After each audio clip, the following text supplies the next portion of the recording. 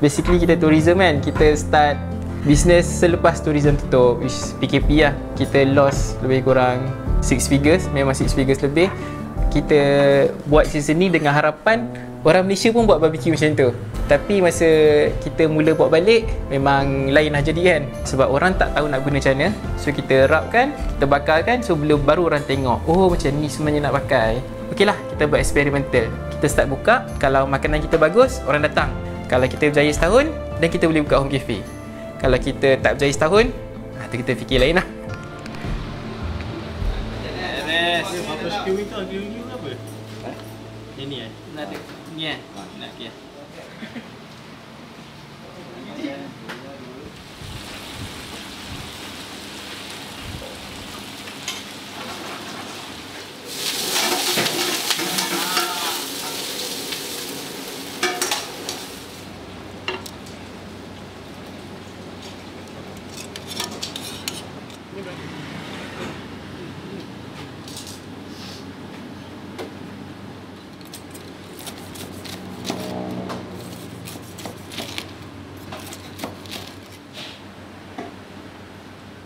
So nama saya Muhammad Asyik Asni dan saya di second card ni saya adalah orang yang memulakan bersama dengan adik ipar saya lah. So asalnya saya dibesarkan memang dekat Shah Alam 17. So lepas tu saya sambung saya ambil diploma architecture. Kemudian saya sambung degree interior design dekat UiTM Shah Alam lah. So dah habis degree tu Time tu kita dapat kerja as migration consultant. So migration consultant tu kita jaga anak syarikat dia dekat Malaysia. So dia punya parent company dekat Australia, kat Melbourne lah. Sampai satu hari kita decide uh, Saya dah tak nak kerja kat Malaysia, saya nak keluar. Saya nak keluar kat Melbourne. So kita buat kerja-kerja office, filing semua Apply visa, interview orang, isikan dokumen semua. Sampailah uh, kita bosan kita buat uh, private tour. Along that tour tu kita develop uh, a few itinerary lah. Bila kita pergi dekat satu area tu dia tak ada makanan halal. Jadi apa kita buat? Uh, kita daging kita marinate siap-siap dan sampai dekat kawasan tu kita tinggal barbecue je. Lepas tu dia develop dari situ lah. Orang datang buat balik buat balik dia punya seasoning. Ada yang cakap feedback ada seasoning ni terlalu kuat ada seasoning ni terlalu uh, mild tak rasa apa-apa so lepas tu kita develop semua seasoning yang kena dengan cita rasa kita So hari ni apa kita buat? Kita nak buat nak prepare lamb ribs lah. Kita dah bersihkan tadi. Tak ada banyak pun. Yang kita ada ni spices. Spices ni kita blend sendiri lah. Daripada garlic, parsley, thyme. Benda pun tak ada nak kata susah sangat pun. Kita tambah minyak je. So yang ada dalam ni termasuklah carrot pun ada. So daripada carrot, mustard seed, semua ni yang kita belajar masa duduk dekat Melbourne. Dia ni inspirasi daripada masa duduk kat Melbourne dulu. Ada satu petang tu, uh, kawan-kawan ajak pergi masjid. So masjid kat sana besar kan? Ada center, ada apa semua. Yang tak tahunya, dalam bulan 9 dia spring tau, dia ada satu budaya. Budaya barbecue kat sana. So apa yang jadinya, halal man, slaughter man daripada abattoir sana datang. Dia bagi the best cut of lamb. Lepas tu diorang pun marinate. Tengok diorang marinate, Relax eh, campak-campak-campak uh, Taruh minyak, taruh apa semua Dan bakar Lepas tu macam Uish, dia rasa lain lah. Tu yang bila ada tu kita Jumpa Mamat Lebanon Jumpa orang Turkish belajar. So sebabkan ada yang spice dia orang Yang rasa macam Rasa wangi tau. So kita adjust lah, adjust Sampai kena lah dengan cita rasa Malaysia. Ambil kita rub dia. Tak nipis sangat, tak tebal sangat. So kalau tebal sangat nanti dia uh, apa masin spices tu kuat sangat lah. Dan kita marinate dalam kalau shank dalam 12 jam kalau beef ribs uh, beef ribs tu lama sikit lah dalam 14 sebab dia kena lagi slow kan. Basically kita tourism kan kita start business selepas tourism tutup which PKP lah. Tourism memang first first to die. Lepas sekarang pun dia hidup tak hidup sangat kan. Kita loss lebih kurang 6 figures memang 6 figures lebih kita buat season ni dengan harapan orang Malaysia pun buat barbecue macam tu. Tapi masa kita mula buat balik Memang lain lah jadi kan. So apa kita buat uh, Instead of kita jual seasoning je Kita jual slow roast. Ada yang 6 jam, ada 8 jam, ada yang 12 jam semua. Sebab orang tak tahu nak guna macam mana So kita rapkan, kita bakarkan So belum baru orang tengok Oh macam ni sebenarnya nak pakai. Trending yang kita perasan makin lama makin uh, Popular dekat Malaysia is home cafe. Tapi home cafe yang diorang buat tu banglo besar Memang lebih spacious kan. So kita tak ada, kita tak ada uh, apa privilege tu. Okey lah, kita buat eksperimental. Kita start buka, kalau makanan kita bagus, orang datang. Kalau kita berjaya setahun, dan kita boleh buka home cafe. Kalau kita tak berjaya setahun, ah, tu kita fikir lain lah.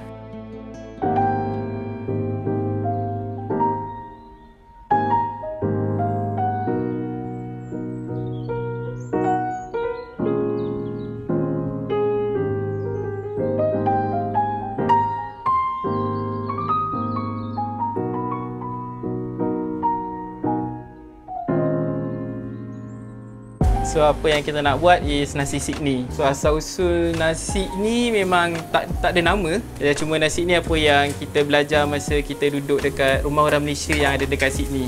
Saute dulu butter and garlic. Lepas tu akan ada mushroom. So satu lagi ni kita akan letak seasoning kita. So seasoning ni lain daripada yang kita guna untuk prap lamb lah. So yang ini tak ada mustard seed, yang ni lebih parsley. Yang ni tak ada carrot, yang ni ada thyme and still beberapa item yang lain lagi lah. Sebab reason dia, yang lamb tadi tu dia perlukan stronger taste. So yang nasi nanti berlawan lah kan dalam pinggan kan. So yang ni dia lagi mild, lagi note dia ke arah sweet sikit lah. So waktu resepi asal dia, dia ada kismis, ada capsicum dan beberapa item sayur-sayur lain lah. Lepas tu suit dengan kita punya selera kan. So kita tak letak sayur, macam capsicum sebab nanti dia mushy, lembik. Kita tak letak kismis. Orang tak, orang tak suka sangat kismis. Separuh suka tapi ramai tak suka kan. So kita omit. Kita akan biar dia mendidih. Dah selesai letak beras. Letak dalam pressure cooker. So, nanti kita dah masak semua baru kita akan shredded carrot dengan tambah masukkan je lah. Ha, ini Syahid. Ni ada ipar kita. So business ni kita tak buat seorang-seorang. Kita lebih kepada family oriented lah. Ni adik ipar saya yang kopi kat depan tu adik betul. Ada ada yang masuk tu dia siap kat sama air raya. ada yang masuk tanya nak angkat pinggan buat dapur ke tak. Masa mula-mula tu penerimaan orang tu macam agak susah sikit kot. Tapi makin lama bila dah makin banyak feedback apa yang jadikan kita selesa macam oh kurang-kurang makan kat sini anak jalan-jalan pusing-pusing tak takut jatuh kalau pun tak kotor kalau baring kat lantai perasaan rumah sikit, kafe sikit. Ini kawasan kejiranan yang agak lama. Uh, so majoriti penduduk dia penduduk yang lebih berumur lah. Jadi yang biasanya orang ni straightforward. Kalau orang tak suka, orang cakap tak suka. Kalau orang suka pun orang cakap dia suka. So alhamdulillah setakat ni belum ada yang tak suka. Uh, ada yang tanya bimbang bimbang untuk kita. Uh, DBK tak kacau ke? Uh, PBT tak kacau ke? So setakat ni alhamdulillah belum ada lah. Cuma kita pun minta jauh lah benda tu kan pengalaman pahit eh so ada ada satu kali ni ada catering kita kita send dalam dua lamb shoulder lah dua lamb shoulder nanti kita baru nak mula so dua lamb shoulder kita dah wrap cantik semua kita hantar ikut courier lah lepas sejam lebih customer tanya telefon tanya marah mana dia punya makanan. Dan kita pun terkejut kita tak dapat trace rider kita tak dapat trace uh, apa semua sampai dia meng cakap bila elok kita lah dia message lah. Nak kata kasar tu boleh lah tapi kita faham lah kan benda dah jadi kan. Sampai sekarang tak tahu kat mana benda tu. Banyak juga lah baru-baru mula kan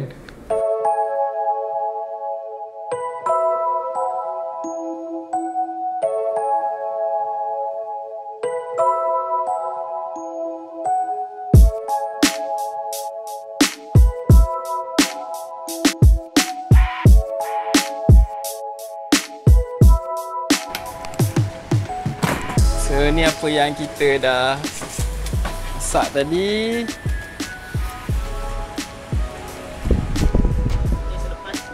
Ini selepas uh, 6 jam.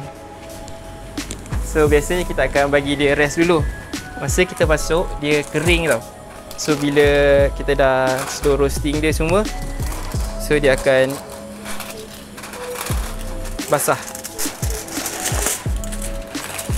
Akan jadi macam ni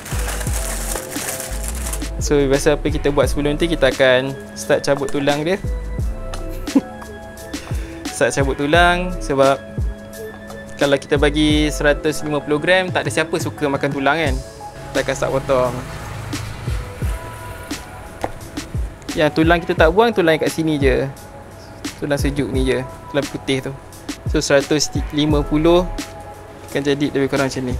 Dia akan jadi kurang macam ni so dia ada ribs ni dia ada lemak sikit kat di, kat sini ujung ni dan dia ada isi kat sini. So yang bestnya ribs berbanding shank kalau shank kita tahu dia kurang lemak atau lebih kepada tak ada. So kalau ribs so kat belah bawah ni dia ada lemak dekat atas ni dia ada isi. Memang kalau ikut standard portion memang sesuai lah dengan nasinya. Pencinta lamb. Ha, biasanya dia akan ambil nasi sini double lamb so dia akan datang dengan dua lamb macam ni lah. Ramai lah sekarang dah start. Nasi sini double lamb nasi sini lamb ribs one of the best selling uh, carbonara beef ribs salmon salmon veggie lah. Salmon veggie tu patut datang cuba kot. Uh, idea dia sebenarnya kita nak start ni kita nak start take away je. Dengan kita ada lamb, kita ada beef kan. So nak buat pull lamb sandwich dengan pull beef sandwich je. Ala-ala subway sikit lah kan. Ambil pull lamb, taruh sayur ke condiments apa-apa, sos apa-apa. Lepas tu packing dan take away je, makan je. Tapi makin lama kita tengok orang kita sebenarnya lagi suka nasi especially bulan Ramadan lah. Bulan Ramadan memang nasi je lah kan. Jarang orang makan buka puasa dengan pasta. Uh, kita buka pun rasa 2 minggu sebelum Ramadan kita start sandwich sangat slow. Kita buka pasta pun sangat slow. Kita buka nasi tiba-tiba orang pun ada nasi. Orang pun cakap ui nasi Arab dia sedap. So ada yang cakap nasi goreng dia sedap. Sebab kita pun tak boleh marah sebab tak kita tak ada tak, kita tak ada base base nak compare kita dengan apa kan. So last last sampai sekarang kita cakap okey lah nasi butter je lah. Assalamualaikum. Saya Puan Fadilah binti Mahat. Asal daripada Muar tapi memang duduk kat KL lama dah hmm, jiran kepada si kengkat ni. Menu yang akak selalu order kat sini uh, nasi Sydney lamb. Pada akak dia punya rasa memang sedap sangat. Maknanya boleh bagi 10 bintang. Okay, sebab daging dia tu lembut. Juicy dia memang terasa lah kan. Sebab sebenarnya akak tak pernah rasa lagi tempat lain. Lepas tu dia punya tulang tu boleh makan. Boleh kunyah. Ha, maknanya licin, boleh habis licin lah kata.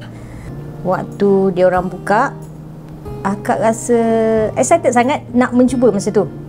Akak sebenarnya bisnes. Lepas tu kalau akak busy ke apa, memang akak order dengan dia orang lah. Ha, WhatsApp je. Lepas tu, uh, dia orang terhantar.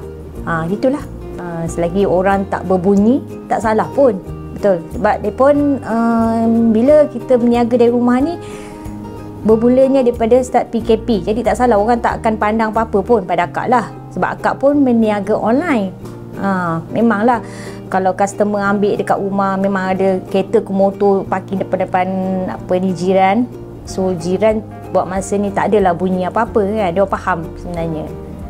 Pada akak menu-menu dia memang best lain daripada yang lain. Kalau kita pergi makan dekat uh, kedai makan luar, restoran ke atau yang gerai-gerai memang takkan jumpa orang kata kalau ada pun tak sama kot ha, kan dia punya rasa juicy dia tu saya, akak sebenarnya suka pada kambing dia tu ha, yang tu akak puji sangat kita buka untuk lunch dengan dinner lah. Lunch kita buka pukul 11.30 pagi sampai 10 malam. Setiap hari kecuali Kamis. Uh, kat sini kita ada buat birthday party, small gathering yang biasa jadinya adalah birthday, anniversary, dengan business meeting. So kalau macam hari tu orang business meeting dah 15 orang, so dia nak privacy kan. So kita tutup semua. Memang hari tu kita bagi tahu kita hanya ada untuk take away saja. So dia orang buatlah dalam 4 jam, 3 jam, 4 jam macam tu. Planning kita dalam sampai bulan 3 the first year milestone kita kita nak buka a bigger, better home cafe lah. Down the road nanti kita akan integratekan dengan sustainable farming yang macam bila kita ada masalah yang bila kita masak kan semua orang semua cooks akan tahu wastage akan jadi tinggi. Food wastage tu kita boleh bagi contoh pada ayam dan ayam tu bagi berit telur kat kita so kita bagi free flow eggs untuk customer ke. So dia punya cita-cita dia lebih kepada kita akan buat ecotourism uh, yang ada makanan sedap lah. Kita memang akan buka more like opportunities untuk orang invest which is bulan 3 kita akan bentangkan lah apa yang kita punya future planning, apa kita punya tu dan siapa yang nak invest, kita pun ada a little bit draft tapi of course kita kena pergi consult dengan orang-orang yang lebih berpengalaman semua kan. Kita memang impian kita, kita nak buka satu eco-tourism farm yang ada tourism ada, so ada tempat tidur of course, hotel, cabins, ada farms, ada cafe. So benda tu dia interconnected kan. So idea dia kalau orang KL nak retreat kurang mungkin dia 2 jam daripada KL dia boleh datang retreat sambil chill lah bagi ayam makan atau ambil telur ayam sendiri daripada tu dan cook your own semua. Lebih kepada hands on lah. Pengalaman saya duduk kat Australia tu dekat sana dia punya nature sangat pristine tau. So sayang untuk orang yang tropical macam kita kita tak maximize kita je tropical yang tumbuhan banyak hari yang banyak tak payah nak fikir musim sejuk tak payah nak fikir musim panas apa semua. So kalau kita boleh buat satu ekoturism yang menyeluruh tu memang lagi mantap lah sebenarnya. Untuk semua penonton Destinasi TV kalau nak rasa kita punya lamb ribs boleh datang dekat Serai Kat Barbecue Home Cafe. Kita ada dekat Batu Cave Taman Koperasi Polis 2 kita buka hari-hari kecuali Kamis 11.30 pagi sampai 10 malam